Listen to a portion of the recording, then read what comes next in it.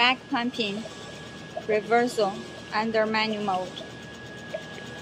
Stop it. Reversal for empty the pump and tubing. Okay, stop it. Also, we can change the fill speed. This is for change the speed of the motor.